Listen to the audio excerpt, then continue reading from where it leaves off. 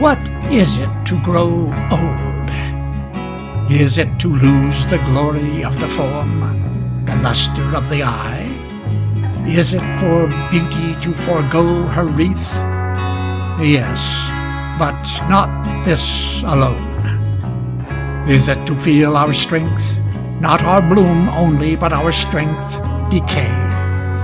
Is it to feel each limb grow stiffer, every function less exact, each nerve more weakly strung?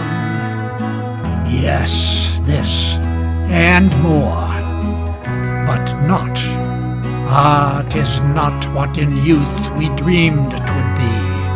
'Tis not to have our life mellowed and softened as with sunset glow a golden day's decline. 'Tis not to see the world as from a height with rapt prophetic eyes and heart profoundly stirred, and weep and feel the fullness of the past, the years that are no more. It is to spend long days and not once feel that we were ever young.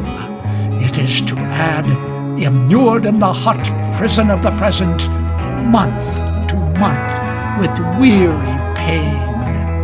It is to suffer this and feel but half and feebly what we feel.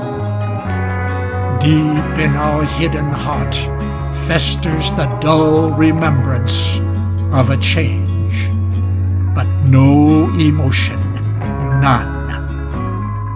It is last stage of all, when we are frozen up within and quite the phantom of ourselves, to hear the world applaud the hollow ghost which blamed the living man.